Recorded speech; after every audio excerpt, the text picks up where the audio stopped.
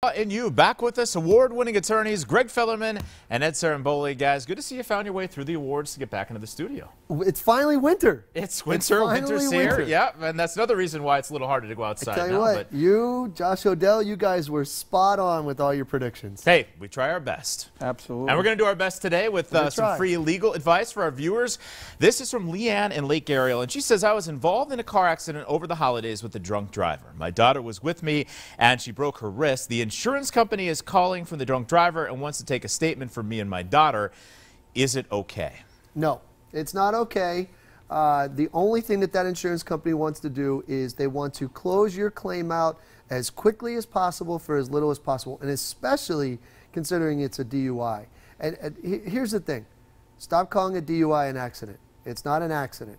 Uh, that driver made a conscious choice to drink, made a conscious choice to put his keys in the ignition, and made a conscious choice to drive.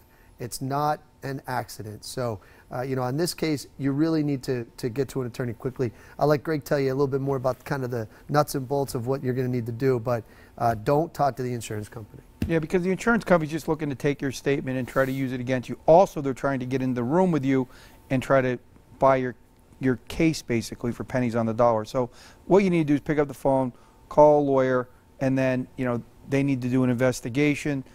You know, with the DUI claim, you know juries don't like DUI, you know, car wrecks. So, you know, there's a potential for punitive damages out there, which you know we've successfully litigated against uh, drunk drivers. So your case has a lot of value, and it should not be. You know, you shouldn't take it lightly. You know, just sit down with insurance company and settle it because you're never going to get paid what you really should get paid. Sounds like the best advice is to call an attorney, and our viewers would like to talk to you guys. How can they do that? Give us a call, 570-714-HURT. See us on the web at 714hurt.com. Or if you have a question, put it on our Facebook page. We'll do our best to answer it on an upcoming segment. All right, results matter with attorneys Greg Fellerman and Ed Ciarimboli. Guys, thanks. We'll see you next time. Okay. Don't forget, PAHomepage.com or the Law and You hotline are always open.